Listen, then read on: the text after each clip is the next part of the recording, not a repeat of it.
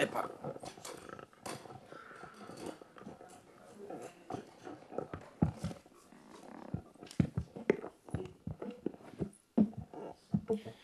Buenos días a todos. Celebramos la sesión extraordinaria del Pleno da Corporación para o vindeiro xoves 12 de marzo de 2020. Eh, o asunto único que temos é a aprobación definitiva do orçamento Municipal para o exercicio 2020. Sometes a consideración do pleno previo ditamen da Comisión Informativa en admitir as alegacións recollidas nos apartados primeiro, segundo, terceiro, cuarto, oitavo, noveno e décimo do escrito presentado de alegacións por non correr ningún dos supostos previstos no artigo 170.2 do Real Decreto Legislativo 2004 de 5 de marzo, polo que se aproba o texto refundido da Lei Reguladora das Facendas Locais. Segundo, desestimar as alegacións recollidas nos apartados quinto, sexto, sétimo e undécimo do mesmo escrito Terceiro, prestar a aprobación definitiva ao Orzamento Municipal para o exercicio 2020 co mesmo contido de documentación incorporada á plantilla de personal coa corrección do erro de transcripción informado e asinado pola técnica de personal no seu informe nos mesmos termos que foi aprobado inicialmente polo Pleno da Corporación na sesión extraordinaria celebrado o pasado 30 de xaneiro de 2020. Cuarto punto, anular os expedientes de modificación de créditos relativos a transferencias de créditos contabilizados sobre orzamento prorrogado. Quinto, ordenar a publicación no BOP da Coruña do orzamento definitivamente aprobado para a súa entrada en vigor. Sexto, facultado ao señor alcalde presidente para o cumprimento da obriga de remitir copia do orzamento definitivamente aprobado da Administración do Estado e da Comunidade Autónoma para dar cumprimento ao disposto no artigo 174 do texto refundido a Lei Reguladora das Hacendas Locais. Alguna intervención? Antonio? Buenos días a todos y a todas. Bueno, nosotros vamos a anunciar que vamos a, abstenernos en, en la votación de presupuestos por tres razones fundamentales. Una, la intervención que hicimos el otro día en RPT y además el recorrido que realicé por todas las parroquias y comunidades de este Concello. Y aparte ahora quería intervenir en relación con las subvenciones. Nosotros creemos que las subvenciones, como la que se le está dando, por ejemplo, a, la comunidad, al Centro Comercial Alberto Arteixo, es relevante y de vital importancia para Arteixo. La subvención que hasta ahora recibieron era para dinamizar el comercio local. Esta actividad creemos que ayuda al autoempleo, crea puestos de trabajo, mejora la economía local, impulsa nuevos proyectos empresariales, etcétera, etcétera. A esta entidad se le viene subvencionando 70.000 euros desde el año 2011. Es decir, señor alcalde, desde que usted gobierna, le ha mantenido la misma cantidad.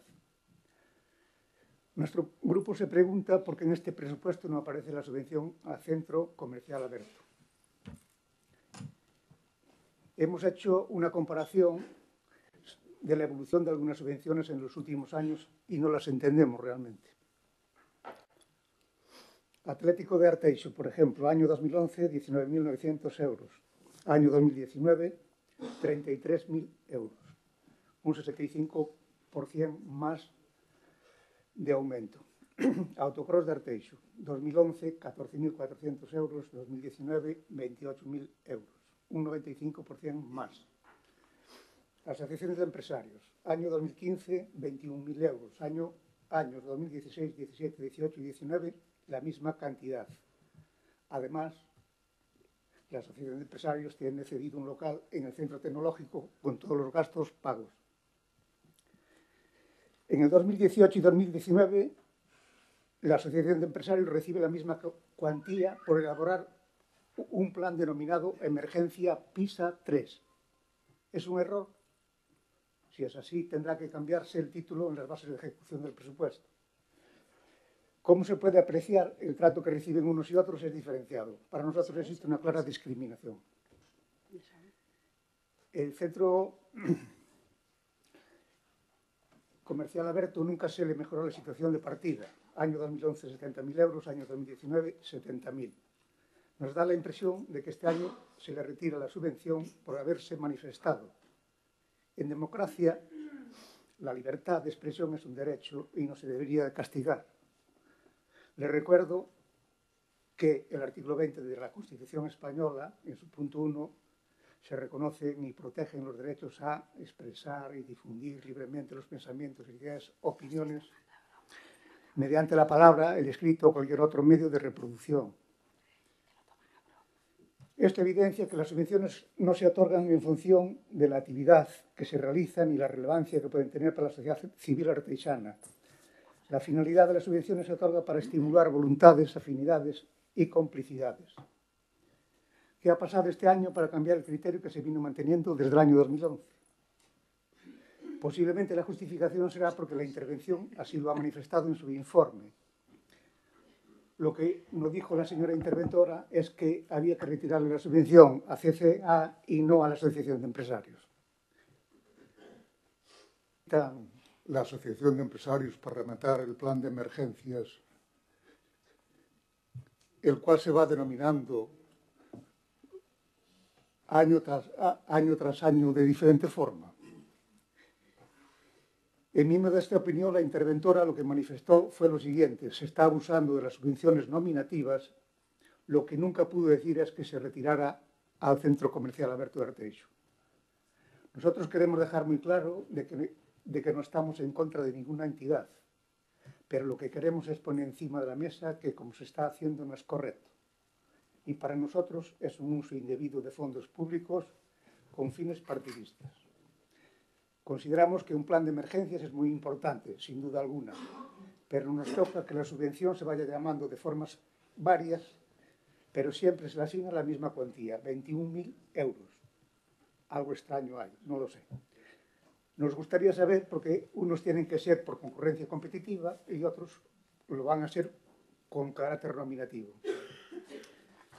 Señor alcalde, nuestro grupo le propone que se haga un pleno monográfico sobre subvenciones, ya que consideramos que se debe producir un debate en profundidad donde se analicen muchas de, la, de las aristas que existen en todas ellas y en cada una de las formas diferentes en que se está subvencionando. Gracias.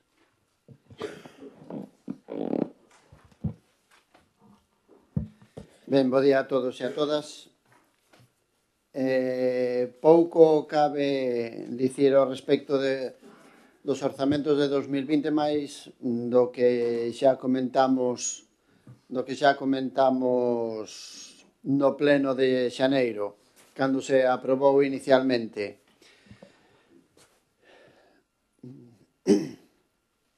Ten vostede, señor alcalde, un duro traballo por diante, porque este orzamento, bueno, ou por cambiar un pouquiño as tornas, esta relación de postos de traballo da que se exixe é fundamental para eh, o Concello e a organización do Concello. non sei se leu vostede, supoño que sí, a cláusula novena que do, do informe de, da técnica de, do Departamento de Recursos Humanos que di ao respecto da necesidade dunha nova RPT recollida no informe de intervención municipal que se refire na reclamación novena que suscribe sinala que tal necesidade tamén figura no Departamento de Persoal non só no informe do presente exercicio, senón nos informes dos expedientes orzamentarios de moitos anos atrás, resultando unha necesidade tan, tan urxente que ven a definirse como insostenibilidade técnica da situación actual. Eu creo que aquí hai que poñer mansa obra. Por eso lle decía que tiña vostede moito traballo por diante. Este ano o BNG decidiu non presentar alegacións, non porque sexa un documento que non as precise, que sí, eh, a dirección política pensamos que vai errada e por eso necesitaría eh, de alegacións. Mais, mais, pensamos que é un traballo baldío, porque nos anos anteriores nos nos anos anteriores eh, nunca se recolleron as nosas propostas, nunca. Despois, evidentemente, nos piden ideas para colaborar, pero dá a impresión de que esta petición de colaboración son meros paripés. De todas maneiras, o BNG de Arteixo non vai deixar de achegar as súas propostas a través de outros métodos, como moción no, nas sesións plenarias. Simplemente...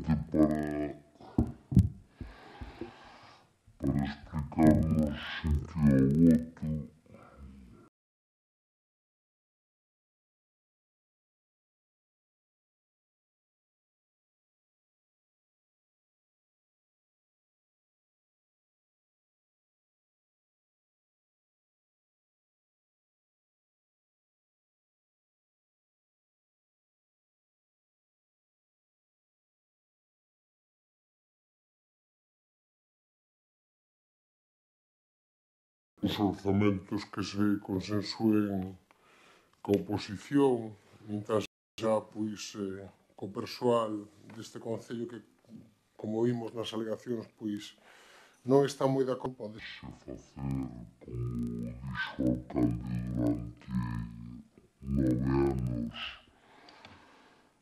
buscando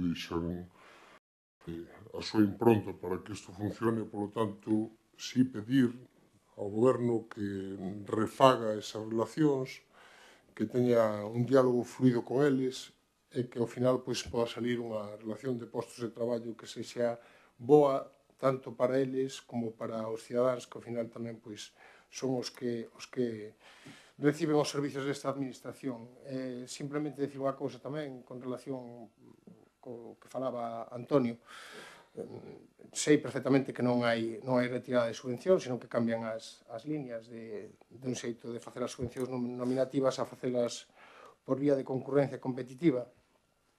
E si eh, pediría, mm, encarecidamente, porque ao final o Concello facemos todos, eh, o facemos todos eh, precisamente na línea de que eh, o mundo dos comerciantes, dos hosteleiros, da xente que está no día a día deste povo, familias que son de aquí, que levan toda a vida apostando porque Arteixo sexa un pobo bo donde vivir, non debería eh, non, des, non se lle debería poñer ningún tipo de traba pois para facer un traballo que en moitos casos incluso cubre as carencias que podemos eh, ter na nosa administración e, por tanto, creo que se debe potenciar. Por tanto, non sei en que liña van a ir as liñas a liña de subvencións nesta, nesta materia e si pediría que non se reduxese nin se eh, penalizarse a, a colectivos, tanto eles como a Asociación de Empresarios de Polígono de Sabón, que tamén creo que ten que facer unha labor moi importante, por lo tanto tamén creo que se lles debe axudar a facer a, a, súa, a súa actividade. Por lo tanto, facer esa reflexión e non meternos en máis charcos, porque a veces eh, eu teño a sensación, eh, o digo con total sinceridade,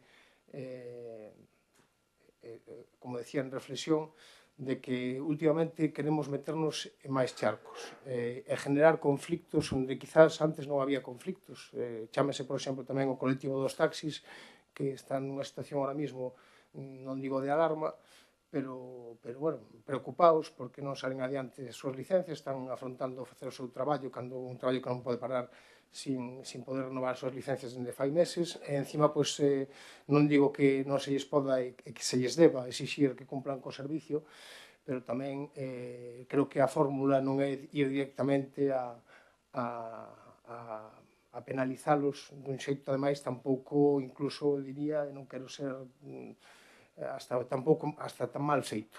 Me refiro, está nunha situación complicada porque hai moitos taxis que ahora mismo non teñen os papéis en regla por culpa de que a administración, tanto local como a Xunta de Galicia, non está tramitando as súas as súas eh, renovacións ou os novos vehículos, co cual están afrontando a posibilidade de ter multas importantes por parte de, de, das administracións eh, competentes. E ao mesmo tempo que está pasando esta situación se fai unha campaña de, de multas e de búsqueda de que fagan un servicio nocturno que posiblemente haxe que buscar a fórmula falando con eles de que, de que se realice porque é certo que todos, vemos, ou todos os que vimos aquí vemos deficiencias nese servicio pero dá a sensación de que últimamente estamos acudindo a mão dura con todo aquel colectivo que mostra algún tipo de disconformidade ou que expresa unha preocupación ao seu grupo de goberno. E, e, e creo que aí eh, entendo que o grupo de goberno ten unha maioría absoluta, pero entendo tamén que debería de pararse a, a, a repensar si quere estar nunha situación de conflicto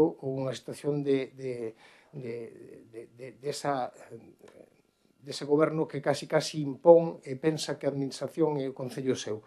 Simplemente facer esa reflexión porque mm, eu creo que o diálogo, inda que non sexa coa oposición, que entendo que en algúns temas é, pero que, bueno, mm, podría ter moito máis máis contido, pero si sí me gustaría que o goberno non rompese tampouco as pontes eh, coa sociedade civil, porque ao final eso é a sociedade civil e que buscase vías de comunicación, vías de diálogo, vías de, de, de axuda, en vez de, de, de buscar conflictos que, en algún caso, son innecesarios ou, ou teñen outras vías e, e, e fórmulas, e fórmulas de, de, de, de actuar. Non, non creo que sexa eh, o idóneo buscar ese conflito directo neses temas e logo ter unha cobardía absoluta para afrontar o tema das terrazas ou para afrontar o tema de, de, das, de, das eh, eh, cacas que deixan os perros na, na, na rúa, o sea, me refiro, hai contra cousas que non somos capaces de actuar e que está, se están pedindo a gritos e outras parece que actuamos ou, ou, ou pode ser que actuemos co pago. Eu creo que ainda estamos a tempo de,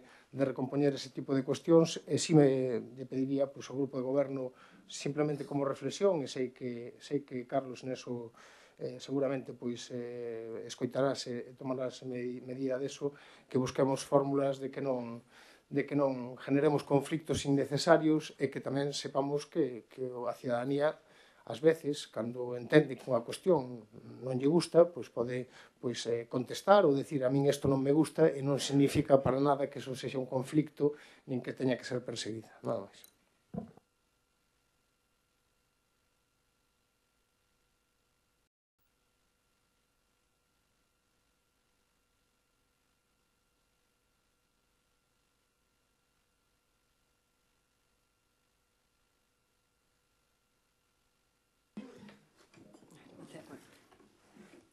Bo día a todos e a todas. A ver, eh, vamos a contestar respecto á subvención da Asociación de Comerciantes que está desdecindo verdades sesgadas, que é un pouco que se está trasladando. Neste caso, a decisión que toma o grupo político é de sacar a concurrencia competitiva o que é a subvención para asociacións de comerciantes e hostelería de Arteixo. Como ben decías, Martín, o Concello somos todos. Arteixo ten sobre 250, 300 en comercio e hostelería. O centro comercial aberto son 60. Nos vivimos o día a día na calle, na rúa. Entón, aí temos queixas de veciños, dos hosteleros que non están dentro do centro comercial aberto e que se están queixando. Que realmente o que nos están demandando é que lles ofertemos tamén a eles a posibilidade de facer actividades ou ben de ter polo menos as mesmas oportunidades que ten o centro comercial aberto. Dai tomas esta decisión. Facemos unha convocatoria próximamente de concorrencia competitiva donde van poder participar o CCA e calquera outra asociación que estea nesta liña. Entón, de aí ven ese reparto. Antes, hasta ahora, a gerencia do CCA levábase 30.000 euros e o resto, os 40.000, eran dedicados a actividades. A decisión política tomase de maneira conxunta, donde mm, tomamos a decisión de que gobernemos para todo Arteixo, para todos os comerciantes de Arteixo e para toda a hostelería de Arteixo. A que está de acordo co CCA e a que non está de acordo tamén. Entón, hasta aí vos podo comentar. Estamos preparando as bases, en breve saldrán a, a público, enseñarémoslas tamén que, a, que as veredes, e calquera outra cousa que nos poidades aportar, será benvida. Pero que nós o que creemos é avanzar. E a maneira de avanzar creo que está gobernando para todos. Grazas.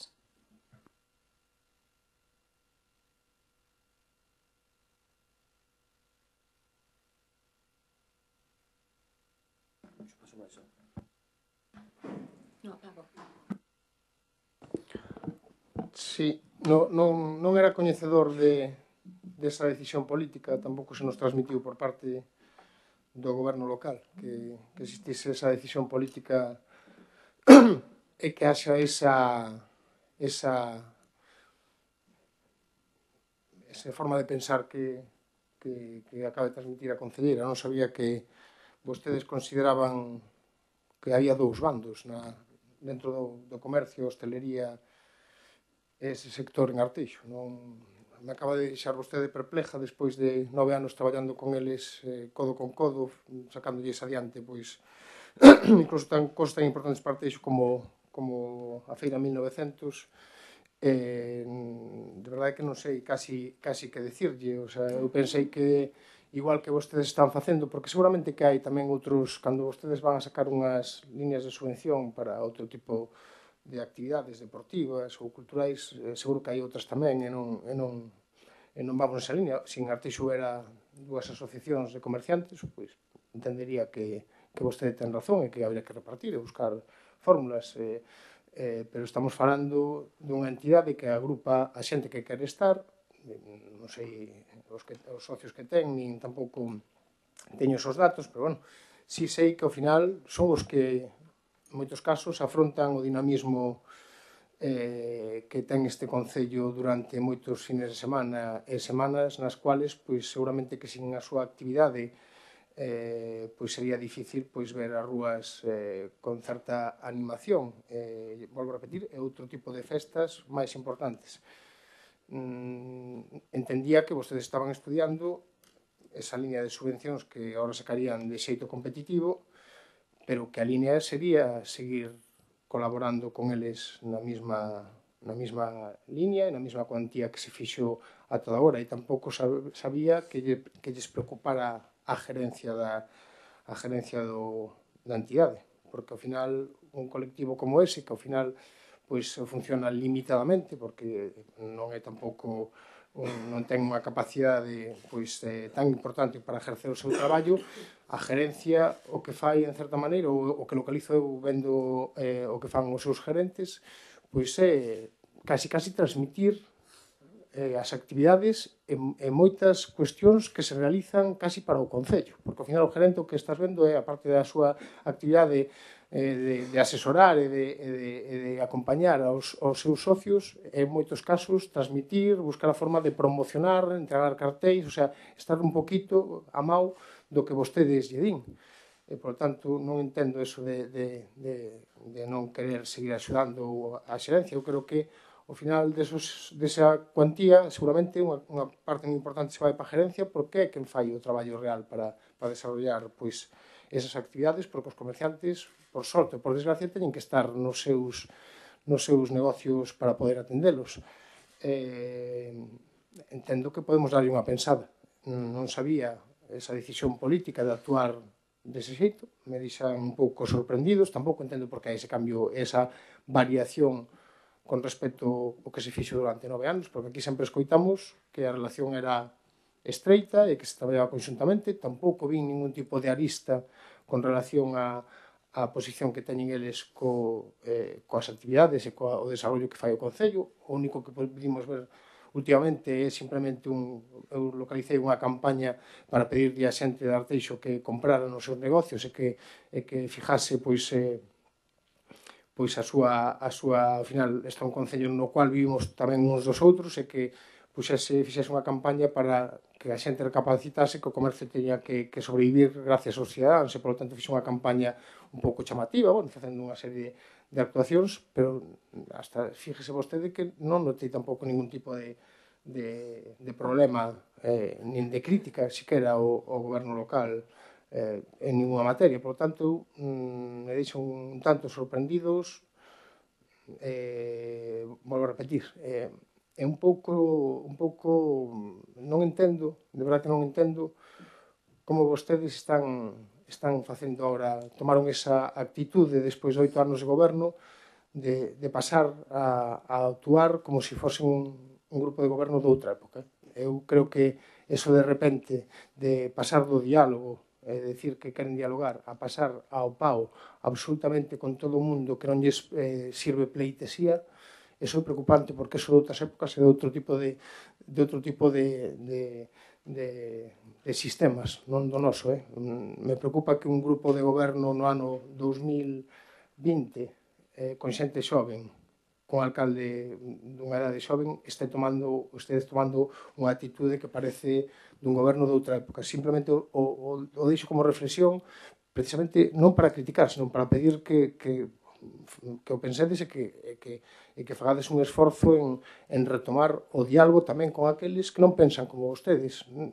Se hai unha asociación no Concello de veciños ou cultural ou simplemente de calquer tipo que non concorda coas súas ideas, eso legítimo, eu creo que ademais o mellor método de, de funcionamento é dialogar moito con eles incluso na discordia pero, pero eso de, de que cada vez que algún tipo de organización, de asociación, de entidade poña algún tipo de diferencia con vostedes, vostedes vayan á caza dese colectivo ou, sin, ou vayan a pola asociación ou queran cambiar os seus dirigentes ou tal, eu creo que iso é de outra época. Quizás eh, eh, vostedes deberán repensar eh, que vivimos no século XXI, que isto é un pouco moi moderno, con xente moi xoven, e que deberíamos de actuar máis pensando en como colaborar e como mellorar eh, o sistema de administración que llevamos aos nosos, aos nosos veciños que actuar como, como un grupo de goberno de outra época, un sistema, mm, eu casi diría, non sei, pero moi restrictivo en canto a, a capacidade para poderse expresar libremente. Volvo a repetir que non sei, non coñezo as bases, non coñezo a decisión política que teñen vostedes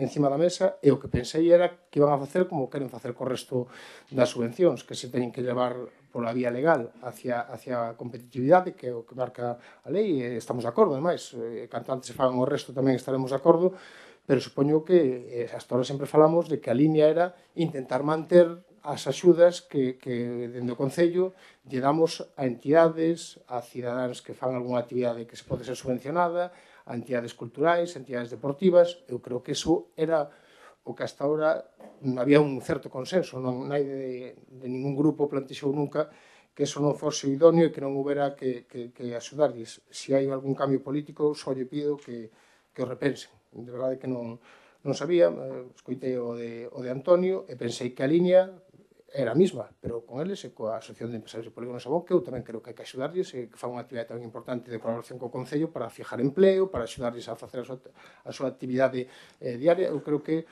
ao final, aqueles... Eh, outra cousa sería que aparece unha entidade que non sabemos que fai e que se lleva uns cartos. Entón, eso nos pode preocupar.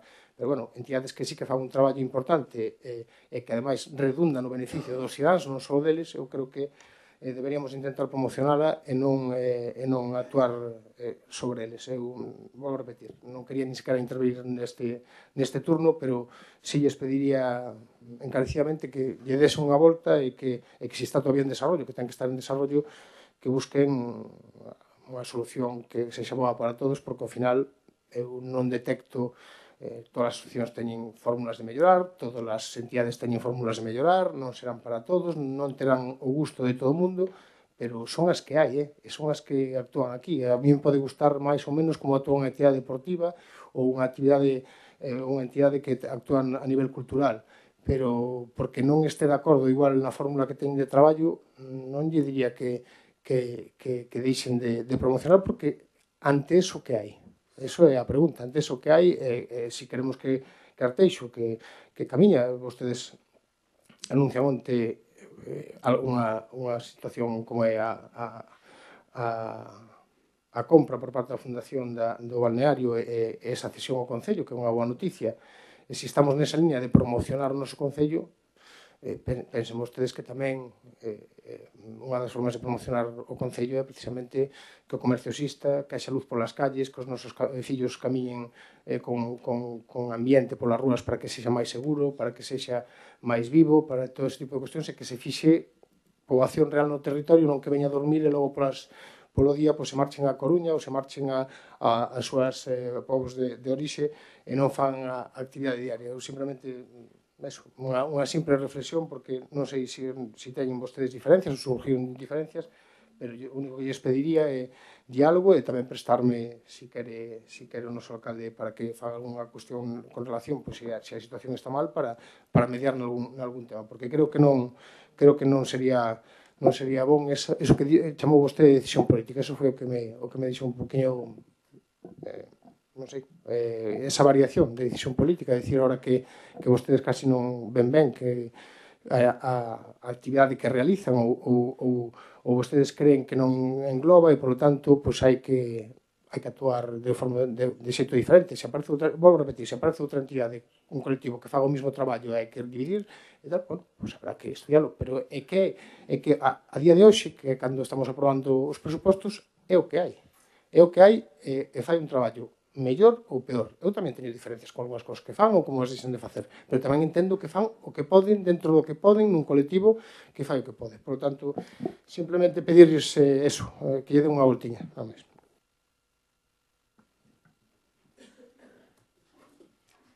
A ver, penso que a diferencia de opinións favorece e enriquece. En ningún momento desde o goberno dixemos o contrario. Calquer asociación das que participan en concurrencia competitiva, neste caso CCA, teñen total libertad para repartir as actividades e todo o que les fan. Por parte do Concello, o único que se fixo foi apoio, tanto promocional como in situ, en calquera das actividades que propuxeron, en esa liña en a que pretendemos seguir. En ningún momento mm, partimos de facer outra cousa a relación entre tanto a directiva como todo como a xente que está dentro do centro comercial aberto creo que con todo o goberno é eh, positiva e boa, ademais. En ningún momento hai outra cousa. Eh, a decisión que senón que non decimos, foi unha decisión despois de falala cos técnicos, donde incluso vimos como se fai noutros concellos, que partes se aportan, e o que intentamos é mellorala, pero mellorala de cara ao Concello e os integrantes deste, deste Concello. E dentro do CCA aberto, pois tamén eles teñen uns criterios e os cales sempre van de acordo cos que podemos ter tanto o goberno como os veciños de Arteixo.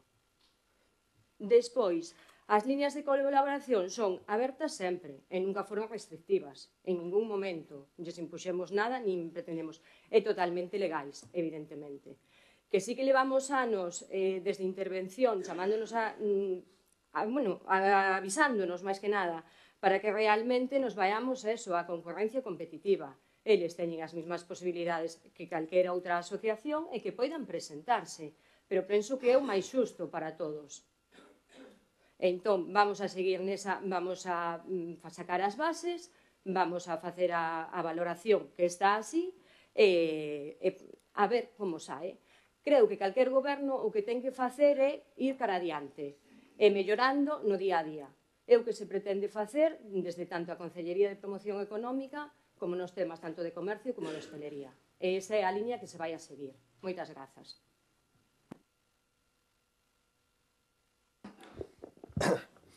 Bueno, brevemente, en este caso Antonio, a ver Antonio, yo creo que tienes que tener un poquito más de rigor en las intervenciones que, que estás teniendo. Porque eh, la Asociación de Empresarios del Polígono de Sabón no recibe ninguna subvención. Ha pasado lo mismo eh, con la línea de subvenciones del Centro Comercial Abierto como lo de Asociación de Empresarios. Es, este año vienen a lo que es concurrencia competitiva. Les ha pasado el mismo proceso es, oye, pues una petición por parte de intervención en ese sentido, que cada vez las subvenciones vayan más a concurrencia competitiva, como está también haciendo un poco lo que es la eh, Diputación de La Coruña. Y bueno, pues en este caso eh, se mantiene la misma dotación económica en la línea de subvenciones de estos últimos años. El CCA, por ejemplo, ha recibido en estos años 630.000 euros, el CCA, el Concello de Arteixo, el grupo del Partido Popular ha hecho en este caso una subvención al centro comercial, menos un año, ¿eh? pues los ciudadanos, efectivamente, que los ciudadanos, 630.000 euros de apoyo un poco a lo que es el CCA. Este año se mantienen un poco las mismas cantidades y bueno, pues lo único que se va a sacar es esa línea de subvenciones de concurrencia competitiva, que yo creo que no le tiene que parecer mal a nadie, hombre. Yo creo que aquí tú te equivocas, Antonio, cuando piensas que la Asociación de Empresarios tiene una nominativa, que no la va a tener. Le ha pasado lo mismo, tiene que ir a línea de concurrencia competitiva. Es exactamente igual. Es, y en, dentro de lo que son las subvenciones de deportes, estamos como un año de transición, que así un poco lo han establecido eh, los técnicos, eh, la viceintervención, la intervención, de ir poco a poco eh, reduciendo las nominativas también para concurrencia. Yo creo que hay un error que se comete, nunca se puede comparar unos a otros. No, no puedes comparar al Centro Comercial Alberto con el Atlético Arteixo, con el autocross, con el Club Baloncesto. No, no se debe, no se debe comparar. Yo creo que eso es malo para, para, para Arteixo. no, ves que el, el, cambio de criterio nos lo obliga un poco pues, la normativa de subvenciones para ir directamente pasando a lo que es una línea de subvención de concurrencia competitiva. Pero yo creo que es un error eh, querer comparar y, y, comparar, eh, me acuerdo que cuando se establece probablemente eh, en los próximos años en, en una, línea, una, línea, de concurrencia competitiva eh, quedará totalmente definido y marcado lo que son las subvenciones a las entidades deportivas, pues oye, en función de resultados, de equipos, de categorías, porque no es lo mismo a lo mejor el Atlético Arteiso que está moviendo a 300, 400 niños, que a lo mejor, oye, pues un poco compararlo con el, autocross, que es el principal evento deportivo que tenemos aquí en nuestro concello, o compararlo con el centro comercial abierto que tiene sesenta y pico socios. Es que no, no es bueno hacer esas comparaciones, hombre. Yo por eso, y luego lo que sí que te pido, Antonio, es que tengas un poquito de rigores. La Asociación de Empresarios de Sabón no tiene nominativa. Pasa a concurrencia competitiva como lo mismo que hace lo que es el centro comercial abierto. Y luego, y otra cosa que sí que os pediría es que a ver, yo creo que eh, en el pleno de aprobación de presupuestos quedó perfectamente reflejado que la subvención del centro comercial abierto iba a concurrencia competitiva. Hubo periodo de exposición pública y entonces hubo periodo de alegaciones. Ninguno de los grupos aquí presentados presentó ninguna alegación. Antonio seguramente recibiría una llamada de alguien o saldría una noticia en el periódico de alguien y un poco las pone aquí. Yo creo que sería más correcta para reflejar vuestro apoyo, en este caso la entidad Centro Comercial Abierto, es que en el periodo de alegaciones hubierais presentado, pero tampoco se presentó. Se sube ahora un poquito al tren que, que, está viniendo.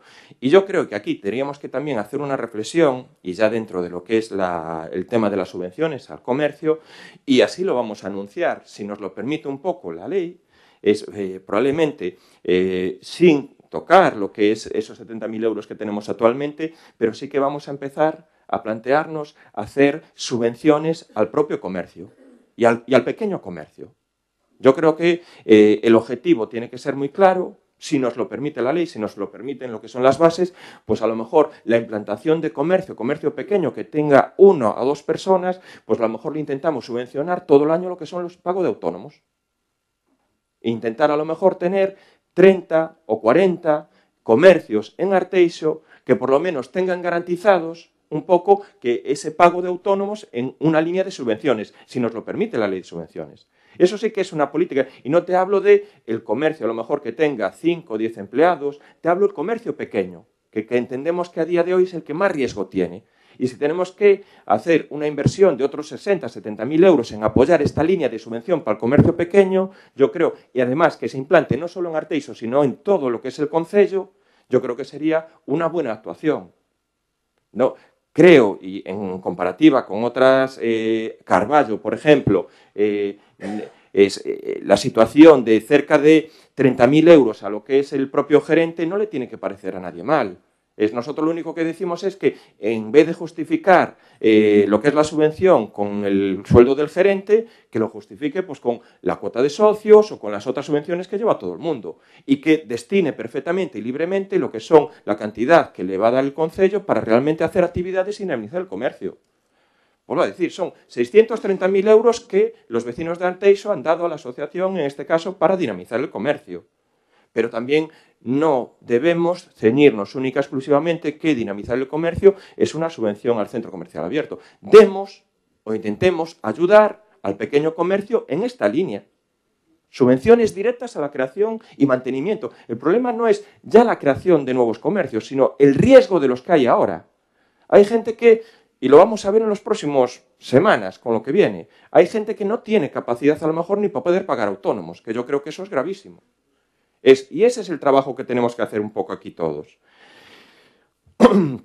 Nuestra política de subvenciones no ha variado. Antonio, es si, si lees las cantidades económicas de eh, entidades vecinales, entidades deportivas, entidades culturales que se daban en el 2011 y lo que se dan ahora, te vas a quedar sorprendido, ¿eh? Porque yo creo que ahí se duplican y triplican desde cuando estaba el 2011. Y yo creo que casi todas las entidades sociales y deportivas de Arteiso reciben subvención. Y es más, le estamos solicitando que por favor reciban subvenciones. Y también les solicitamos que, por favor, pidan las subvenciones de la Diputación, que la mayoría de las entidades de Arteiso no la piden por el engorro, la dificultad, la tramitación compleja de solicitar una subvención a la Diputación. Entonces, oye, tenemos que trabajar todos dentro de lo que es el mismo camino. Es, eh, sobre el colectivo de los taxis, a ver, yo creo que otra vez eh, pasa el tren, sí que anunciar que hoy a las 12 el concejal de seguridad se va a reunir con, la, con, los dos, eh, eh, efectivamente, cuando hay un conflicto, pues hay que resolverlo. A ver, yo creo que los vecinos de Arteiso son conocedores perfectamente el conflicto continuo que tienen los taxis, no con el ayuntamiento, entre ellos mismos. Son dos asociaciones que son incapaces de ponerse de acuerdo. Sí, entonces llevamos eh, muchos años con un tema, vamos a decir así, complejo, grave, y para mí me parece muy grave efectivamente, que cualquier vecino de Arteiso que por la noche necesita el servicio, ojo en la situación que estamos actualmente, y que, pues, por circunstancias, eso es lo que se va a hablar en la reunión de ahora, pues no hay ningún taxi por la noche en Arteiso. Y que me diga que tenemos que actuar según marca la ley, según marca la normativa, que a lo mejor sí que tiene que haber algún tipo de sanción porque hay pues denuncias sobre esta situación, y que queremos generar un conflicto, pues hombre, yo creo que el conflicto, en ese sentido, lo primero que tenía que hacer la gente del taxi de Arteiso es agruparse en una única asociación, porque un poco pasaba, es que ya una de las asociaciones no tiene ni emisora. Hay una asociación que no tiene emisora. Gravísima, es una situación que esperamos, y hoy que se reúnan, que un poco la puedan solucionar. Y también sabemos que el conflicto, hay no todos lo que son el sector del taxi, pero hay un, parte de la gente del taxi que tiene un malestar con el grupo de gobierno por haber implantado un transporte público eh, tanto urbano como interparroquial. Y lo sabemos. Sí, sí, y están molestos. Y las palabras que te dice alguna persona es que, claro, hay que ahora perdón moitos cartos de buscar a señora tal o señora cual, a señora cual.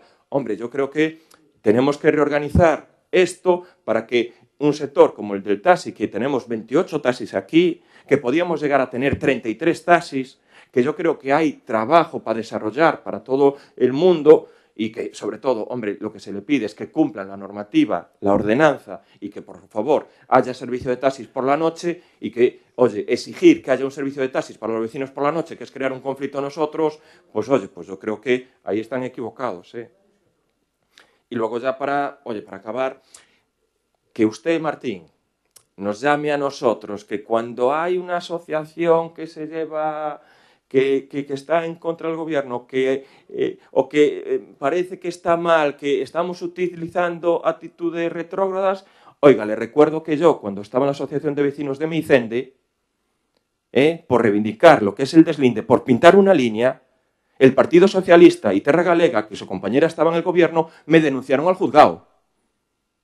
Eso yo creo que sí que es un acto totalmente, vamos a decir así, retroactivo de Mm, ideologías de otros partidos, de ideologías de otros partidos que no retrógrada. Pues yo creo que esa sí que fue una actitud retrógrada del Partido Socialista, del Partido Socialista y Terra Galega que estaban gobernando y que en este caso pues mandaron al juzgado a una asociación vecinal que lo único que hizo fue reivindicar un tema de un deslinde.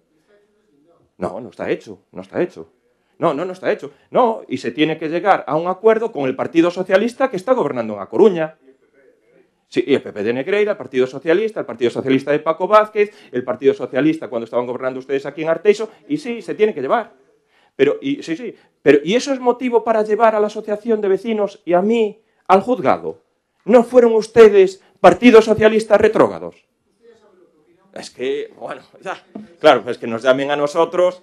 Hombre, por los hechos se conocerá a la gente. Y yo creo que aquí que estamos hablando de una línea de subvención de concurrencia competitiva donde puede acceder lo que es el centro comercial abierto y lo que pueden acceder cualquier tipo de asociación y que nos está llamando a nosotros retrógrados. Hombre, no. Cuando estamos diciendo que realmente el problema del comercio es una ayuda directa al pequeño comercio. Y por lo menos nosotros no hemos denunciado a nadie, no hemos llevado al juzgado a nadie, como sí que hicieron ustedes cuando estaban gobernando. Y la memoria, la memoria existe. Y yo creo que en ese sentido, pues esas palabras me gustaría que no fueran pues oye, comentadas aquí en este tema, porque nosotros dialogar con todo el mundo, con el sector de los taxis, yo creo que las reuniones serán continuas y los conocemos a todos. Intentamos por ayudar, lo único que le pedimos es, cumplan ustedes con la ordenanza y hagan que haya servicio de taxis aquí en Arteiso. Bueno, pues nada más, procedemos entonces a la votación. Votos de a favor eh, de la aprobación del presupuesto, a favor. Abstenciones. En contra.